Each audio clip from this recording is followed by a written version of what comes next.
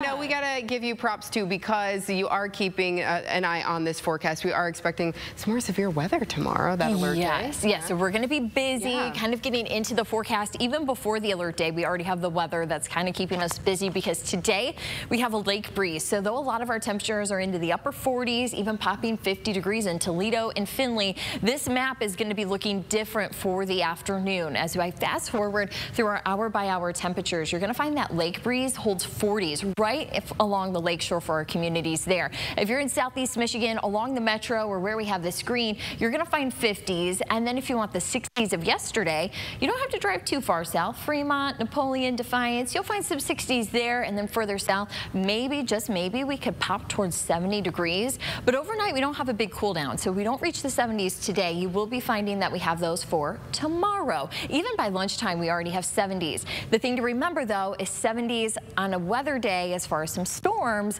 This means that we have some fuel already at lunchtime for those strong afternoon thunderstorms, and we're going to hold that, but we will find at times as the as the thunderstorms through, they will drop us out of the 70s at times. It isn't until after 6 o'clock when we have the cold front that rolls through, and then we just erase all those 70s away. But what we're watching for this morning, just a couple of showers, those are just sneaking through southeast Michigan right now. And then I'm also keeping an eye to a little bit of energy you're going to find off towards our west. A few showers and storms could sneak in later on today, even close to the afternoon and dinner time. Those severe weather not expected. It's Wednesday that we do have the alert date for the severe storms. So it's going going to be in the afternoon, and you will be finding that even in the morning, we start out with a round of rain, but it's the strong storms. Here's an update if you haven't joined us yet this morning. We're updating that time frame to noon, so it will be from 12 p.m.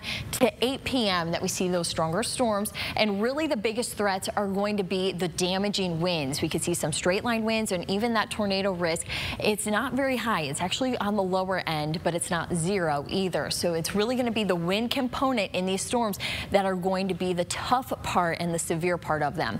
As we go through today, I'm going to do today's forecast pretty fast. We'll have those a few showers and thunderstorms that I had mentioned earlier. But as we go into tomorrow morning, you'll find that rainfall to start the day. As we get close to noon, you will find that we start to see a few more of those vivid colors. So that's around one. You can see this here at 3 o'clock in our eastern counties. This is going to move through. Then we have a second round. This will be passing by just ahead of the cold front in the 8 o'clock hour. So we have a couple of rounds of strong to severe storms to watch for Wednesday afternoon. Again, that time frame noon to 8 p.m. The biggest threats, wind gusts, that tornado. I wanted to show you, it's on the low end of our scale. And even that heavy rainfall, if you get caught under some of those thunderstorms, they're carrying a lot of water. So if you have your rain gauge out, you're probably going to notice that you pick up a lot if you see some of those thunderstorms roll through town. Once we get through the alert day, though, it goes pretty quiet here on our forecast. You are going to find those conditions. Those are going to be here. But even as we look ahead towards that full 10 day, I really want to show this one off because though we have a couple showers on Monday, that's not what's just grabbing my attention alone.